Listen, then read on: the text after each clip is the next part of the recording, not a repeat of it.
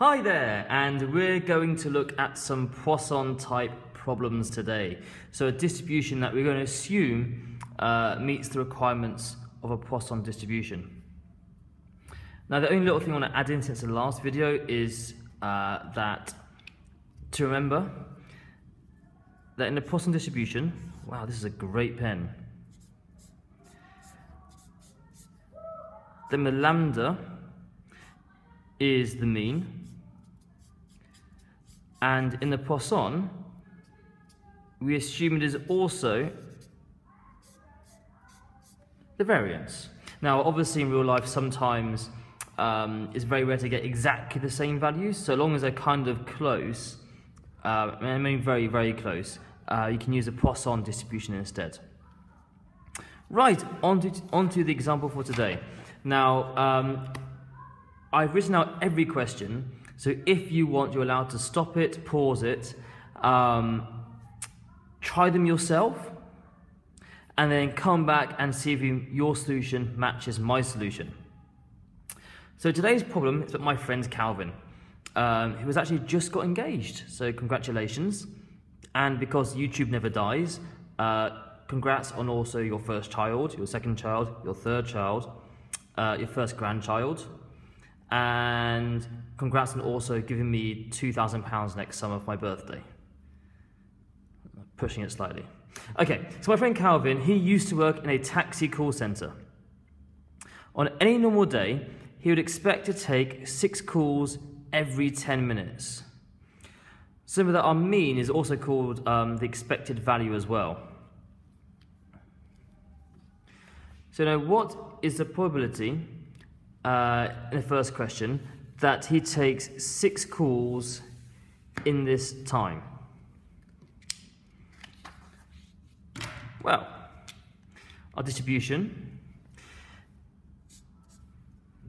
we always state it first, is Poisson are the mean of six calls. And the best part is, uh, this is in our table. So in your Poisson tables, uh, six is so uh, a mean lambda of six, and what's the chance we get exactly six calls? Well, just like in a binomial, this is uh, the summation of the previous probabilities. So what we need to do is to find exactly 6, we need a probability x is equal to or less than 6. Okay, so 0, 1, 2, 3, 4, 5, 6. So this would give us all of this stuff. And you take away from that 5 and lower. So your takeaway probability x is less than or equal to 5, which gives us, from our tables, so go lambda is 6, and looking at 6 is 0 0.6063. I'm going to take away everything less than that, which is 0 0.4457. So the probability, probability of getting exactly six calls is quickly going to be 4457 0.1606. So as an answer, probability x equals 6 is, there we go, beautiful. Right, in our second question, Calvin takes a bathroom break uh, between 10.23 and 10.28. What's the chance he misses no calls while he's away at the bathroom? Well, first thing to notice is the length of time here.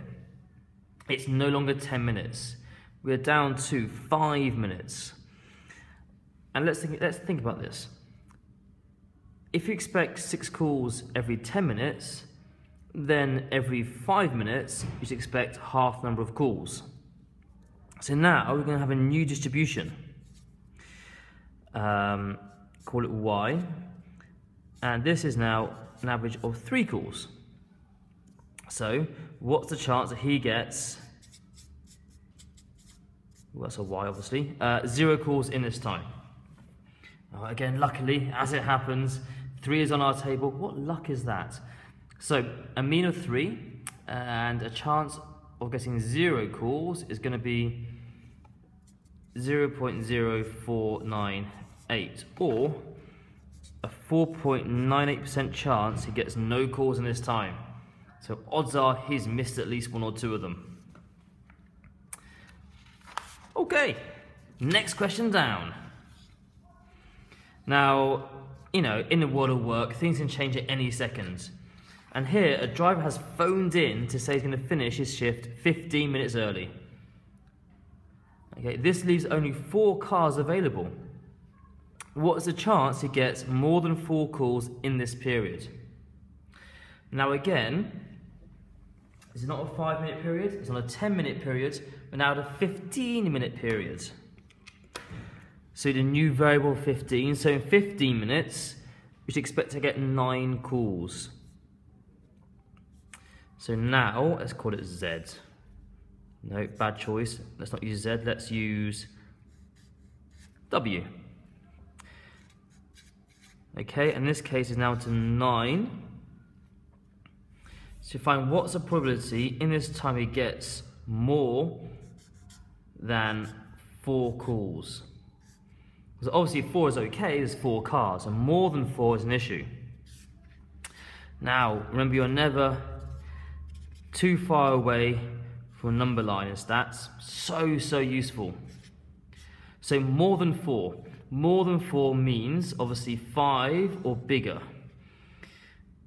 Now our table only shows less than or equal to. So if, if we can find the probability of getting 4 or less, we can take that away from 1 and what's left is obviously a chance of getting more than, more than 4. And as luck would have it, uh, 9 is also in our table. So chance of getting 4 or less, so 4 is over here. So 0 0.5, where are we? 5, 0. So chance we're going to get more than 4 is 1 minus that. which is 1 minus 0 point accord. Uh-huh. So, there is going to be a 0.945 chance to get more than 4 calls. There we go. Wow. He looks a little bit stuffed in that one. Okay, then now the last question, the last question down here is a little bit trickier. So going back to that five minute period, so that was our y distribution, and where the Poisson had an expected value of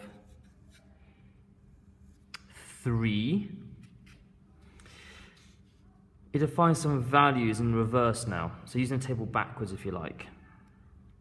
So the first one is a probability that y is less than or equal to some strange number a uh, equals 0.9161. This is probably the easiest easiest of them. Uh, use it straight from our table because this, this setup matches our table setup here. Yeah, that's a less than or equal to scenario.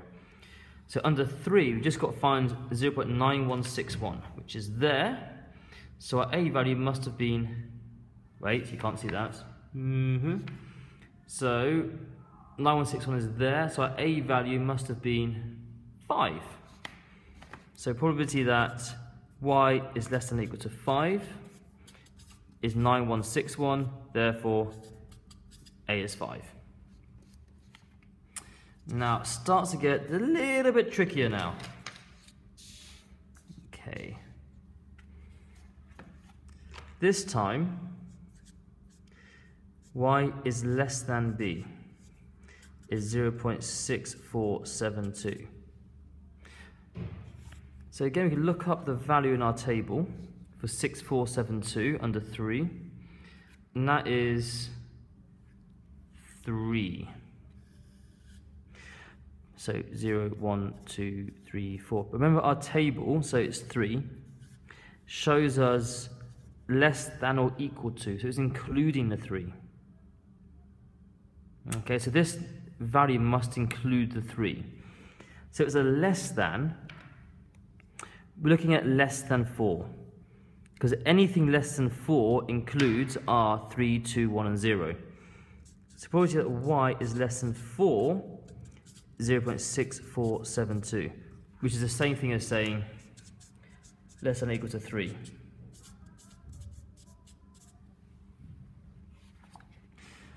And our third one is perhaps the trickiest. So please do stop this as I go along to try it yourself. If you think, you have a hang of it, just try it and see what you get and come back again. So, probability that y is bigger than or equal to c is 0.5768.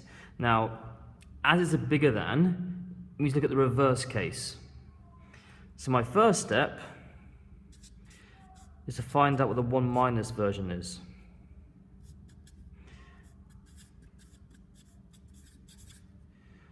And that would give us 0.4232. So in our table, if you look that up, 4232, oops, is 2. Okay, now here's a number line gets really useful. 0, 1, 2, 3, 4, 5. So we know that this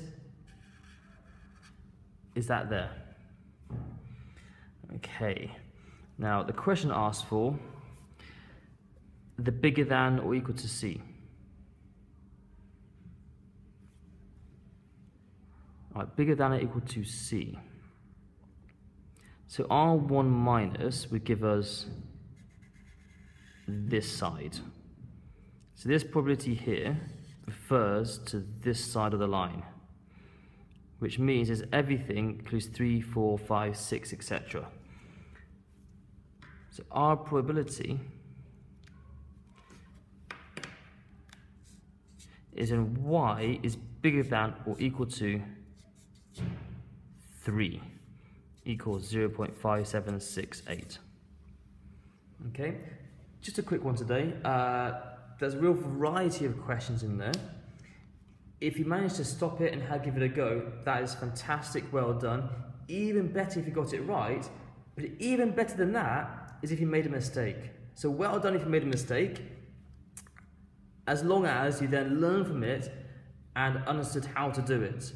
If not, give it a go again and try it again. I'd suggest, to be honest, if you've done it, made a mistake, give it maybe an hour or two, then go back and have, have another go and see if you get it right first time round without making a mistake.